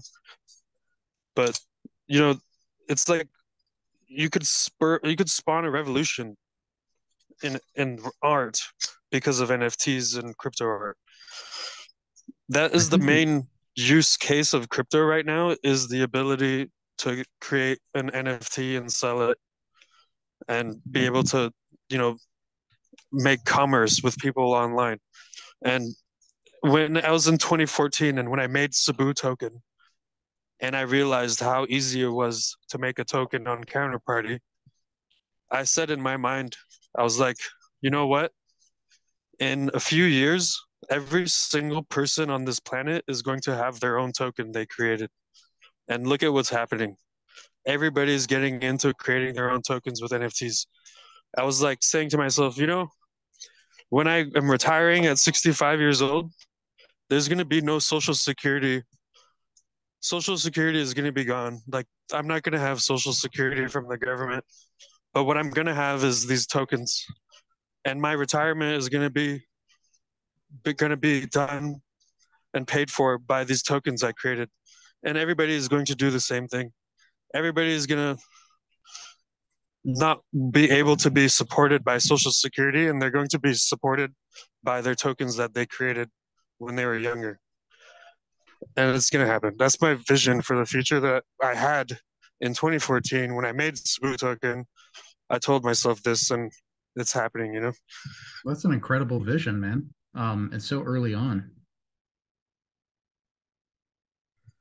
I yeah, it, it was it, it, it's because like it's just so simply easily easily understood like that you could click a couple buttons type in a name a description add an image to it and boom you have your own created token. And it's and it could be done with less than a dollar worth of tezos spent to make your token and you could have as many of them as you want divisible by whatever number you want and you can you can um, sell them right away or give them away right away transacting them is super cheap. That's what draw people into using Tezos is all NFT users right now. Like the DeFi on Tezos is dead. There's like hardly any DeFi really. So the I can go out and onboard people all day, every day, and I would have a great time doing it. And there'd be plenty of people lining up to get onboarded into the NFT space.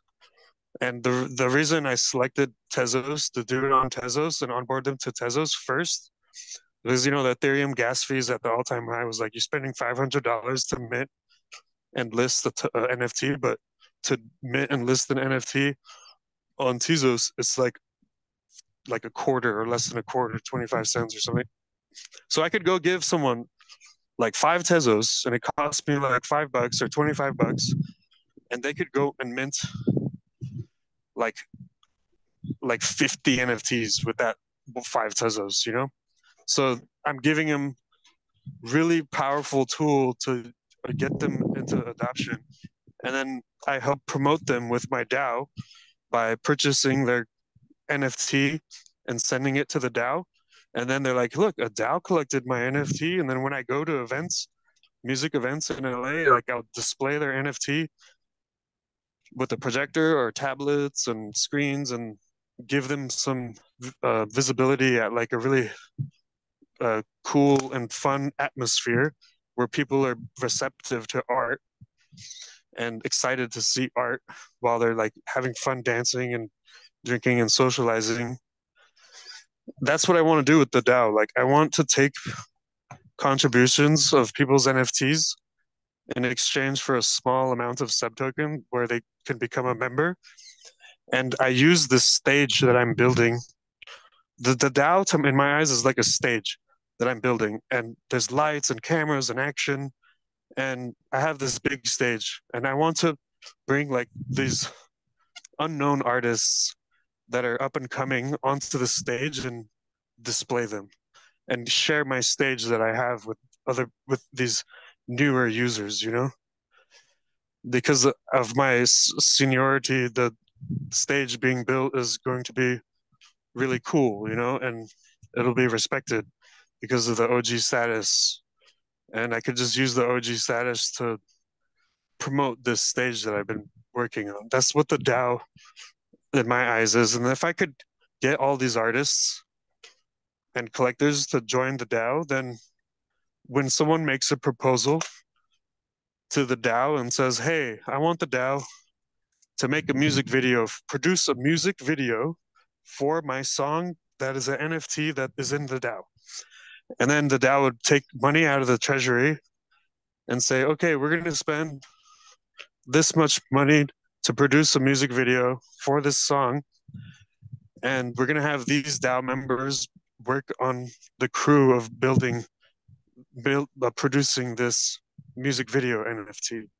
And then when the music video NFT comes out, the DAO will list the music NFT, music video NFT on the marketplace, and the treasury will be able to get income out of what it produced itself. So that's kind of like the organizational mindset I have with that I'm really excited about. Like yeah. the, the DAO is going to be able to make contract calls soon, basically. Yeah, I mean, I I think the future is with with DAOs in general. Um, I mean, you know, it like we can you can create a DAO that that um, you know instead of the in the normal legal world in the U.S. or it or internationally, we can you know, and with DAOs the the main purpose doesn't have to be about making money or or bound in these you know I don't know those those old old paradigms you know so yeah it's it's super cool what um you know what you guys will be able to do. For sure. So we've been there for a little yeah. minute. What is there anything else we wanted to cover? You think? Or well, I mean, I, I think we're we're pretty good. How about uh, how about you? Is there anything else you wanted to touch on?